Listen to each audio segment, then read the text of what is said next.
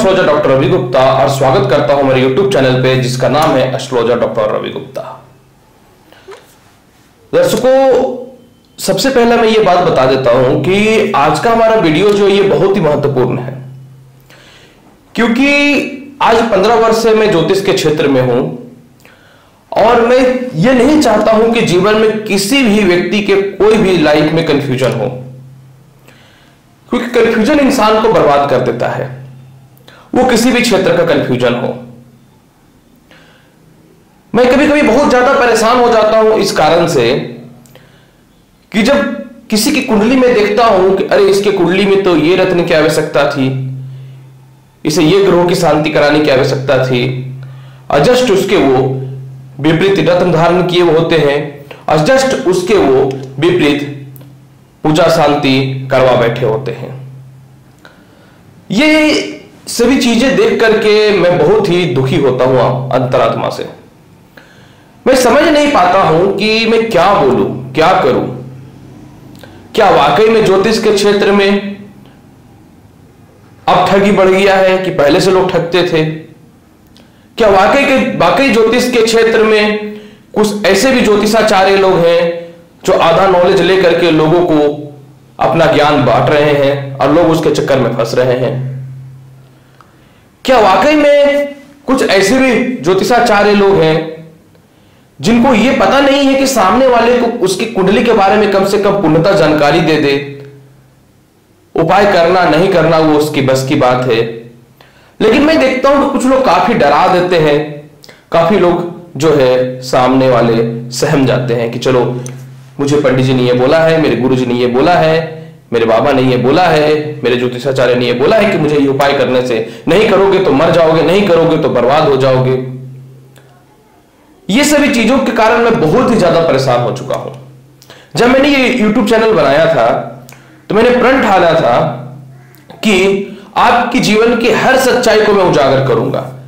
मैं कभी नहीं चाहूँगा कि आपको जीवन में कुछ भी ऐसी बातें छुपाना जिससे आप जो है जीवन में परेशान हो।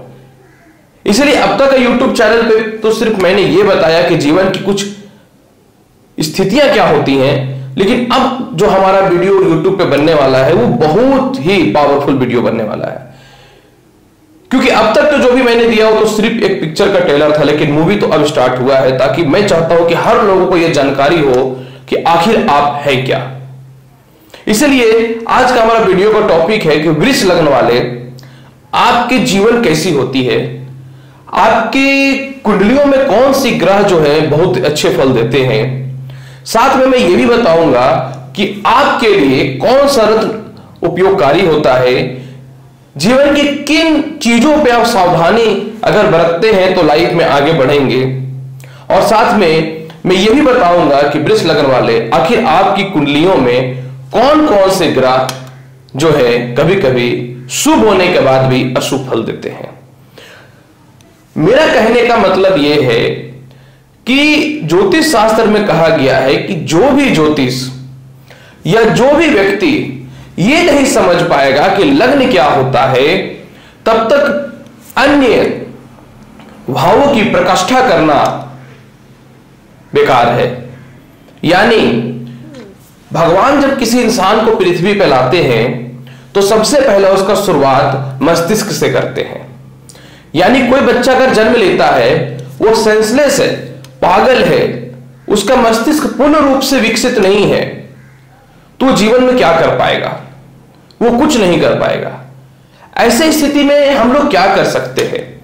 ऐसे स्थिति में हम लोग सिर्फ़ यही देखते हैं कि आखिर इसका भरण पोषण कौन करेगा, या फिर ये कितने साल जिएगा? क्योंकि जो व्यक्ति के जीवन में उसका मस्तिष्क पूर्णता काम नहीं करता है जिस व्यक्ति के मानसिक स्थिति संतुलित नहीं होती है, ऐसे व्यक्तियों का मैं नहीं समझता कि कुंडली देखने से कोई फ़ायदा है। इसलिए ज्योतिष शास्त्र में सबसे पहले इंसान का शुरुआत उसके मस्तिष्क से, उसके स्वभाव से और उसके नेचर से किया जाता है। जिस प्रकार कोई बच्चा जन्म लेता है तो उसके माता पिता जो है, उसे भोजन देते हैं जो ज्ञान उनके अंदर निहित होता है या जो किताबी ज्ञानी होते ज्ञान होते हैं, वो उनको देते हैं और सिखाते हैं कि ये जीवन में जीने का बुद्धि है, इस कला को इस प्रकार से तुम सीखो। लेकिन माँ बाप जो है, दुनिया में किसी भी बच्चे को नेचर नहीं देते हैं। क्योंकि नेचर जो होता है, वो भगवान देते हैं और वो जो नेचर होता है, दर्शकों, वही इंसान का लग्न होता है। पहले आप ये समझ ले कि आप क्या है। पहले आप ये समझ ले कि आपकी नेचर क्या है।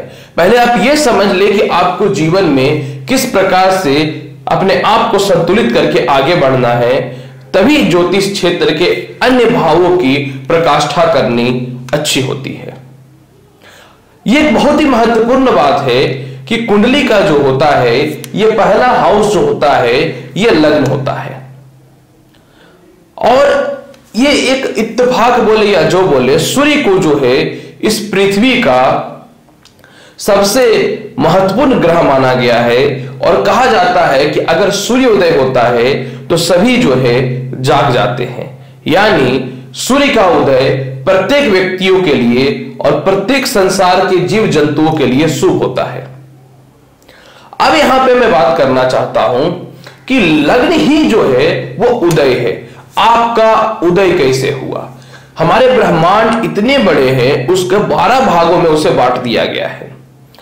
और बारह भागों के अनुसार जो है, इंसान की उत्पत्ति भी होती है, यानी पूरे सृष्टि में बारह प्रकार के ही लोग हैं। यह बहुत ही महत्वपूर्ण मैं आपको जानकारी देना चाहता हूँ। इन्हीं बारह प्रकार के लोगों में ही जो है, आपसी तालमेल, जीवन की सफलताएँ पारिवारिक और मित्रता, यानी जीवन के जितने भी संबंध होते हैं, यही यही बारह प्रकार के लोगों से जो है, स्थापित होते हैं। और उन्हीं बारह प्रकार के लोगों में से मैं आज जिस लग्न की बात करने वाला हूँ, वह है वृष लगन, यानी बारह भागों का सेकंड चरण जिसे पहला मेष लग्न होता है, दूसरा बीस तीसरा मिथुन में भी मैं बात करूँगा।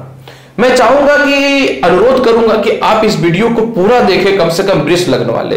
ताकि आज आप ये समझ पाए कि मैं क्या हूँ। मेरे लिए क्या उपयुक्त है?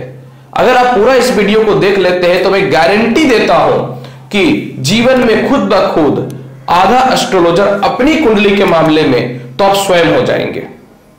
चलिए अब मैं बात करता हूँ पार्ट बाय पार्ट वृक्ष लगन वाले आप क्या हैं? आप क्या लेकर के आए हैं? किस प्रकार के जीवन में आप सफल होंगे? चलिए मैं बढ़ता हूँ इस प्रकार की जानकारी के साथ। सबसे पहला क्या होता है कि दर्शकों, अगर आपका जन्म के स्थान पे, यानी जन्म कुंडली का जन्म लग्न जो होता है, वहाँ पे अगर दो अंक बैठा होगा तो आपका जन्म जो है, वृष लग्न में हो जाएगा। जी हाँ।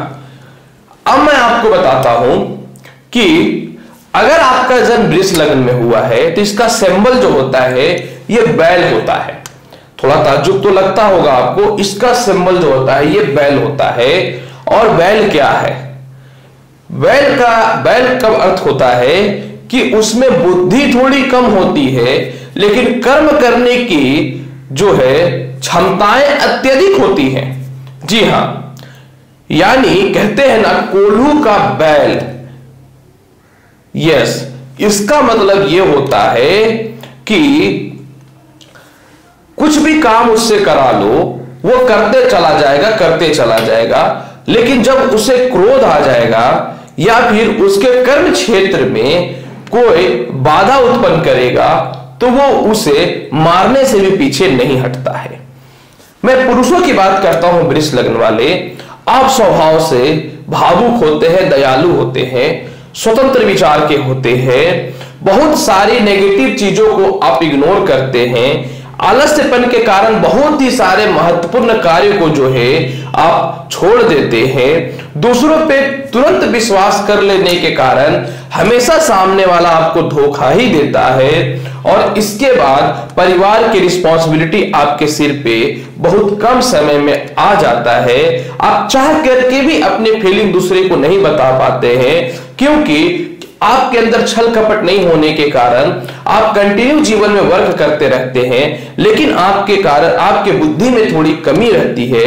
यही कारण है कि आपको जीवन में सफलताएँ प्राप्त करते करते बीच में बहुत लोग जो है ठग लिया करते हैं। महिलाएँ, अगर आपकी बात मैं करता हूँ, आप भी दयालु होते हैं, भावुक होते हैं लेकिन आपके अंदर थोड़े चिड़चिड़े स्वभाव निश्चित तौर पे डेवलप हो जाते हैं। होता क्या है कि आप दिल के साफ़ होते हैं, अपने कर्म को करते हैं, लेकिन क्या होता है कि इसके बीच में अगर कोई रोक टोक कर देता है या आपको अपशब्द बोल देता है तो आपके अंदर क्षण भर में क्रोध डेवलप हो जाता है और आपके वाणी से तीखी भाषाएँ निकल जाती हैं जो सामने वाले को बुरा लगता है। मैं मानता हूँ कि आप भी दयालु होते हैं। मैं मानता हूँ कि आप तुरंत दूसरों पे विश्वास कर लेते हैं। मैं मानता हूँ कि आप स्वार्थी नहीं होते हैं, लेकिन आपको लगता है कि अगर मैं स्वार्थ के थोड़ा स्वार्थ करके इस चीज़ को प्राप्त कर लो तो मेरा जीवन सफल हो जाए। ये आपका सोचना गलत नहीं है। शारीरिक रूप से पुरुष हो या स्त्री आप काफ़ी सुंदर होते हैं, लंबे भी होते हैं। पीठ, कान के पास, आपके पास कुछ न तो कुछ जो है चिन्ह या फिर तिल या मस्सा का दाग तो शरीर में रह ही जाता है। बाल्य अवस्था में निश्चित तौर पे आप थोड़े दुखी होते हैं, लेकिन जैसे जैसे आपका उम्र बढ़ता है, खास करके जीवन का सबसे कष्टमयी समय आपका 20 वर्ष से लेकर के 28 वर्ष तक रहता है। इसके बाद आप जीवन के बहुमूल्य सिद्धांतों को समझ जाते हैं। इसके बाद जीवन के आप बहुमूल्य सिद्धांतों के साथ छल कपट को भी समझ जाते हैं, तब तो पश्चात आपका जीवन जो है सफल होना प्रारंभ हो जाता है। अगर मैं स्वास्थ्य की बात करता हूँ तो हार्ट पे थोड़ा पेड़ होना, पेट की थोड़ी समस्या होना, गर्दन में और सिर में हमेशा दर्द होना, और थोड़े मोड़े दांत की समस्याएँ होनी आम बात होती है। जो भी आपको थोड़ी समस्याएँ होते हैं, वो ऑरल ऑरल रूप से थोड़ा ज़्यादा होता है। ऐसे मैं कह सकता हूँ कि शारीरिक के अंदरूनी कष्ट कम होते हैं। इसका मतलब ये नहीं है कि आप परेशान नहीं रहते हैं। अगर मैं बात करता हूँ आपके जीवन में तो आप क्योंकि बहुत ही स्वावलंबी और सिद्धांतवादी होते हैं कैलकुलेशन ऑफ़ माइंड मैं ये नहीं बोलता कि आपके अंदर नहीं होता है, फिर भी दर्शन शास्त्र हो जाए, होटल मैनेजमेंट हो जाए मीडिया का क्षेत्र हो जाए पेंटिंग का क्षेत्र हो जाए एमबीए या फाइनेंस का क्षेत्र में बैंकिंग के क्षेत्र में आप निश्चित तौर पे ज़्यादा सफल होते हैं। इंजीनियरिंग के भी क्षेत्र में अगर आप जो है सिविल सर्विसेज़ सिविल इंजीनियरिंग या फिर जो है अगर आप सॉफ्टवेयर से रिलेटेड कार्य में जाते हैं तो निश्चित तौर पर सफल होते हैं। अगर मैं बात करता हूँ तो क्या वाकई में जीवन में आप कंटिन्यू सफल होते चले जाते हैं? नहीं, ऐसा नहीं हो पाता है। बीच में अगर आप, क्या होता है कि बहुत सारे लोगों को सहायता करते हैं तो आपको बर्बादी के लक्षण सामने आ जाते हैं। अगर आप नौकरी करते हैं तो दूसरों दूसरों को नौकरी लगवाते हैं, वही आपका जो है, सफलता के बीच में कांटा बन जाता है और वही चुभ जाता है। आपके मित्र ही आपके सबसे बड़े शत्रु होते हैं, और सबसे बड़ी समस्याएँ आपके साथ ये होती है कि आप जो है दब करके नहीं रहते हैं तो आपकी बातें थोड़ा लोगों को बुरा लग जाता है। मैरिड लाइफ की अगर मैं बात करता हूँ तो पुरुष का जो मैरिड लाइफ आपका जो होता है, वो निश्चित तौर पे मैं ये नहीं बोलता कि खराब होता है क्योंकि आप थोड़े शांत स्वभाव के होते हैं, मैं पुरुष की बात कर रहा हूँ तो आपका दाम्पत्य जीवन तो किसी तरह चलता है, लेकिन महिलाएँ आप दिल के साथ होते हैं। यही कारण है कि भगवान शारीरिक रूप से सुंदर तो आपको निश्चित तौर पे बनाता है, लेकिन कभी कभी आप थोड़ा झूठ का सहारा ले लेते हैं, आपके मन स्थिर नहीं रहते हैं। आप चाहते हैं कि ज़बरदस्ती कोई मेरा बड़ाई करे क्योंकि आप दिल के इतने साफ़ होते हैं तो आपको लगता है कि मैंने उसके लिए ये काम किया तो पति मेरे बड़ाई करे, मेरे ससुराल वाले मेरे बड़ाई करे, मेरे घर वाले मेरी खूब तारीफ़ करे, ऐसा नहीं हो पाता है। इसी कारण से आप थोड़े से चिड़चिड़ा जाते हैं और कड़वे वचन जो बोल देते हैं तो कभी कभी तो डायवोर्स तक की स्थिति उत्पन्न हो जाती है और बहुत सारे लोग जो है, आपको इज़्ज़त भी नहीं देते हैं और बहुत सारे लोग जो है, आपको जो है, अपमानित भी कर देते हैं तो आप थोड़ा डिप्रेस्ड हो जाते हैं। यानी पुरुष की अपेक्षाएँ महिलाओं का दाम्पत्य जीवन थोड़ा सा जो है, निश्चित तौर पे कष्टमयी होता है। वृक्ष लगन वाले, अब मैं आपकी कुंडली में कुछ ऐसे बातें बताने वाला हूँ, जिसे आप जाने और समझें तो आपको जीवन में निश्चित तौर पे सफलताएँ प्राप्त होगी। यह वीडियो उन लोगों के लिए भी है, जो इनिस स्टेज में एस्ट्रोलॉजी कर रहे हैं। यह वीडियो उन लोगों के लिए भी है, जो सब कुछ जानते हुए भी सामने वाले को गलत रत्न धारण करवा देते हैं, गलत अफवाहें गलत जानकारी दे देते हैं और सामने वाले को डरा देते हैं।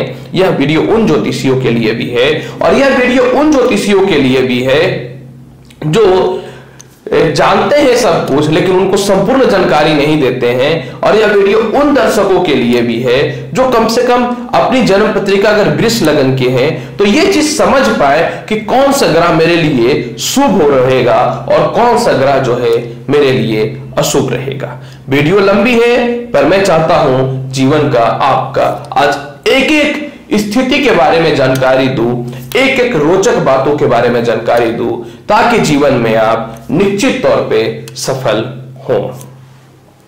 चलिए मैं बात करता हूँ वृष लग्न वाले। जब भी आपका जन्म होता है तो शुक्र जो है आपके लग्नेश होते हैं। पंचम हाउस के बुध जो है, शुक्र के परम मित्र यानी पंचमेश होते हैं, त्रिकोण के मालिक होते हैं और दसवें घर का शनि जो है, परम राजयोग, यानी महाराजयोग का उत्पत्ति करता है। परंतु इस चीज़ों को वृक्ष लगन वाले निश्चित तौर पर समझ करके चले कि शुक्र आपके लगनेश होने के बावजूद भी जो है सिक्स हाउस का मालिक होने के कारण थोड़ा सा पाप फल देता है।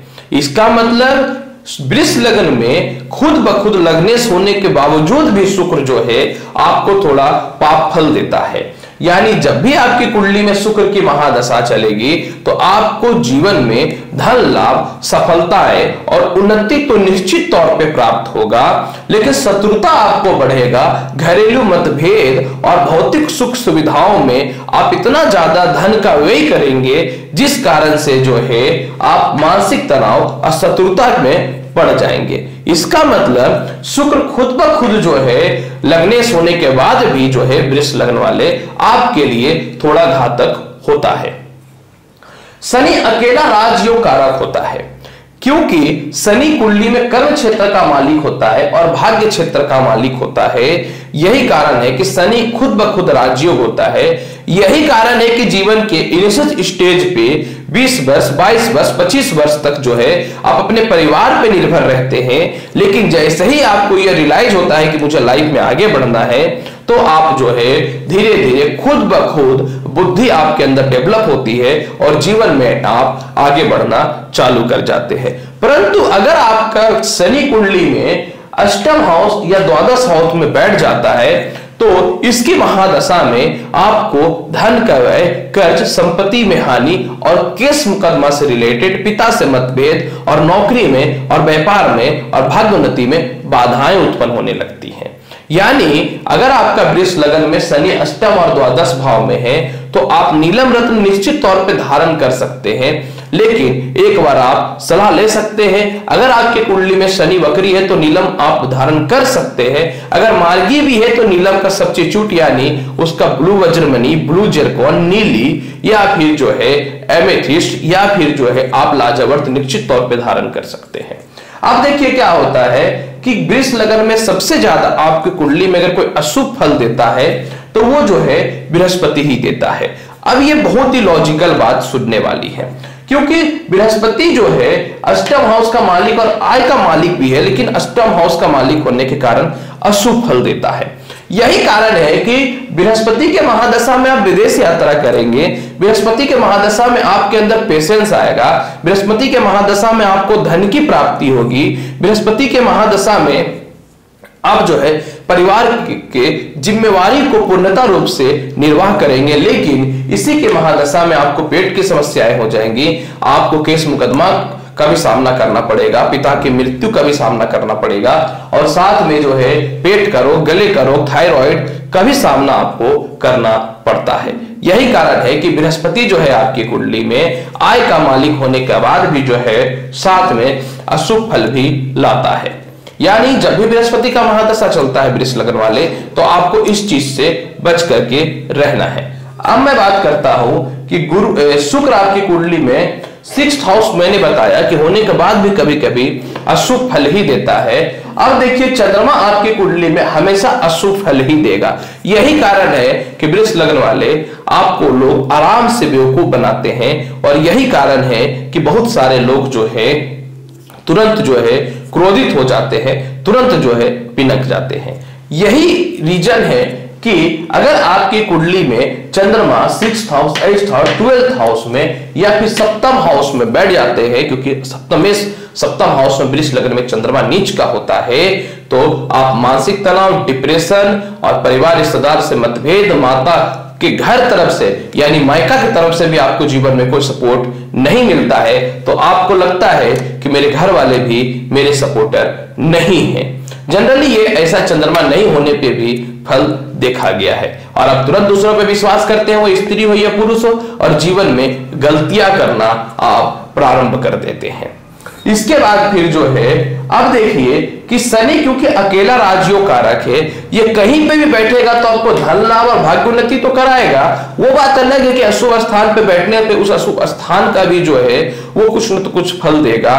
लेकिन शनि के साथ जो भी ग्रह बैठेगा, वृष लगन में आपके लिए राजयोग कारक रहेगा। यानी उसके प्रभाव को बढ़ा देता है। जनरली अगर बुध और शुक्र बैठता है तो उसके प्रभाव को ज़्यादा बढ़ाता है। सूर्य को छोड़ के अन्य ग्रह भी बैठते हैं तो उसके प्रभाव को बढ़ाता है। लेकिन ये एक ज्ञानी ज्योतिष से आपको दिखवाना पड़ेगा क्या वाकई में जो है, ये अशुभ फल तो नहीं दे रहा है।